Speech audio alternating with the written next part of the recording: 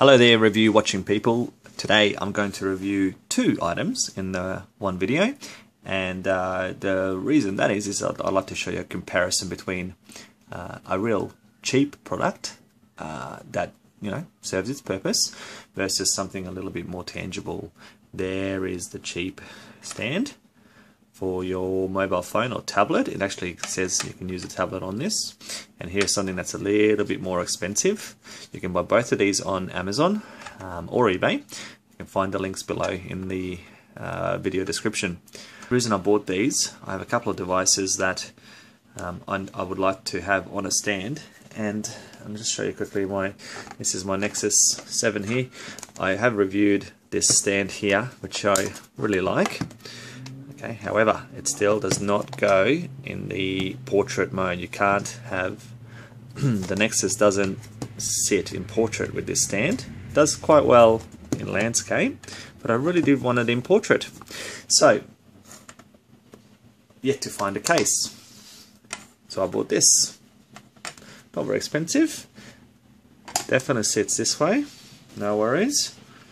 And, surprisingly, even works standing up. Um, now this is as large of a tablet that I think it will hold. I don't think it's going to hold an iPad. It's going to tip a little bit too far back or it will be very unstable. When you use it in this mode, okay, it bounces around. So while it is quite good, it does have a little bit of bounce uh, when you when you use when you're using your tablet. So but it does hold it. Very good. Typically what it ends up holding is my little phone. This is my work phone. So it holds the work phone quite nicely. Like my, my little iPhone 4, um, 4S I think this one is, uh, holds it very nicely. And it's just the right size. Makes sense. Now you can see that it was quite bouncy when the tablet was sitting on there. So I'm going to show you the other one and what the difference is. There it is there. Slightly larger one. Again, you can find the link below to, to buy one. It's very compact. It comes like this. Nice and small. You can throw it, definitely throw it into your um, bag if you are looking to be mobile. It uh, folds up nicely. So basically fold the bottom out, has a nice thick deep um, deep uh, tray there to fit most of your devices. And if you've, and this is what I really like. If you have a case uh, you know a lot of them don't fit. A lot of the stands don't allow for the case but uh, this one does. At the back it's intricate looking but it's very simple. You just kind of put slots in there. Goes up like that. There you go. And then your tablet can sit down on it in there very nicely. So this is my Nexus 7 with the with, it, with its case on. You can see how there's plenty of space in there to to hold your device. You can then change the height of this one, which is another little bonus. You can go down to a lowest lower one, and I think that's the one that kind of works nicely when you're sitting just at your table looking at your tablet. What you get with this one is this extra width at the back.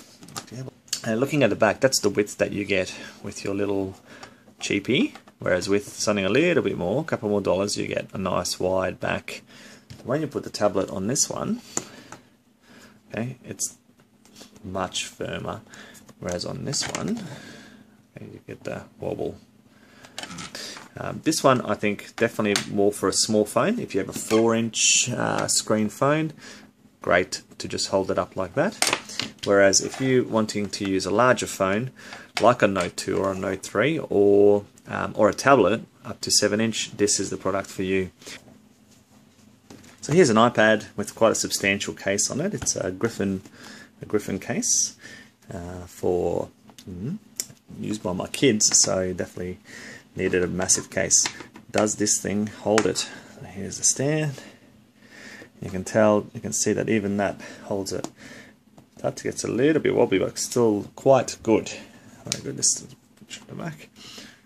So holds it to that height quite nicely.